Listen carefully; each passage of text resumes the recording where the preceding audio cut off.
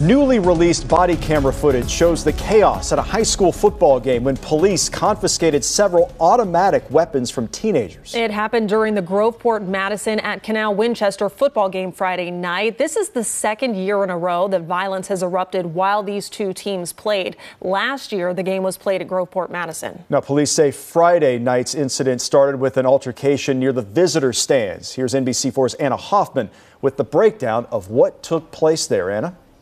Jennifer and Jared, police arrested four people on Friday night a 16 year old, two 17 year olds, and an 18 year old. I spoke with the Madison Township police chief who tells me he was appalled, not just with what happened, but also how the four seemed to have zero sense of remorse. It's the third quarter of Friday's opening football game. Madison Township police say they were alerted of an altercation near the visitor stands or Groveport Madison side. Police say they've removed two 17 year olds from the area. They ask them if they have any weapons. Step back, stand up. I don't have Turn nothing. around. I'm, Turn around. We Just relax. Just- this, okay? If you're We're clean, not- you're clean. Police pat one of them down and finds a fully loaded 9mm handgun in his pant leg. Minutes later, a third teen, this time a 16 year old, is brought outside. Police go to pat him down. I'm going to pat you down real fast. Turn around.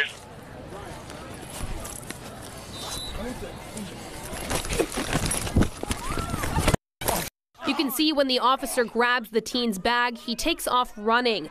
Police say they started to chase him. Ultimately, a Groveport Madison administrator and a bystander end up catching him and tackling him to the ground.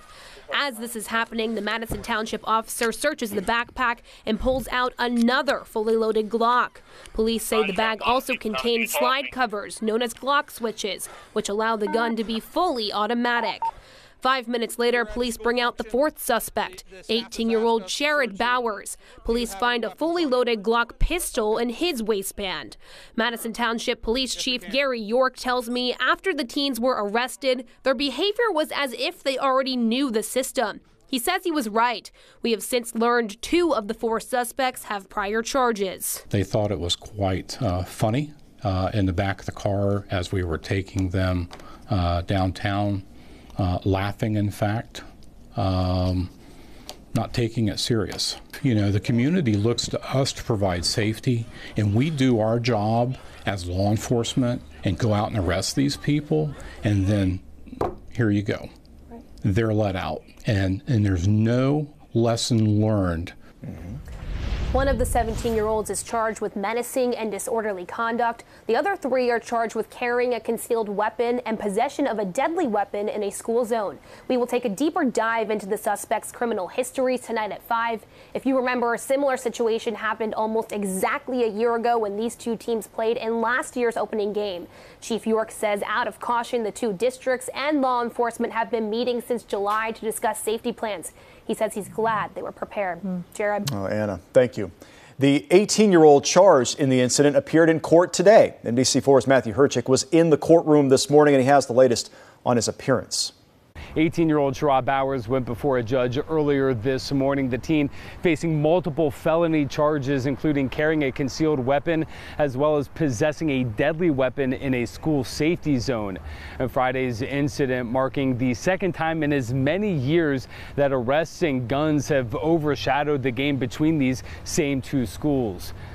Sherrod Bowers appeared virtually in the Franklin County courtroom Monday morning. He, along with two 17 year olds and a 16 year old, were arrested Friday night in connection to an incident at the Groveport Madison Canal Winchester football game. According to a message sent out by Canal Winchester schools, a fight broke out on the away sidelines just before 8 p.m. Officers with Madison Township Police removed the individuals but according to court records, a Groveport Madison school administrator approached police and told an officer they believed Bowers had a gun on him. After searching multiple individuals, police found three guns, all modified to be fully automatic. Friday's incident marks the second time in as many years that arrests were made at a game between these two schools. Last year, 18 year old James Keys was arrested after he and a 15 year old were accused of firing shots outside the stadium during the game. Fortunately, nobody was hurt in either incident. Bowers was given a $150,000 bond and is due back in court on August 29th. Local for you at the Franklin County Courthouse, Matthew Herchick, NBC4. Now, following the incident, Groveport Madison is implementing new safety regulations at games. They're going to close stadium games, gates, I should say, at the end of the second quarter. No book bags will be allowed. There is no reentry after leaving. Middle and elementary students will also need to be with an adult, and there is no loitering around the concession stands or parking lots. A spokesperson for Canal Winchester says they are working on additional safety plans.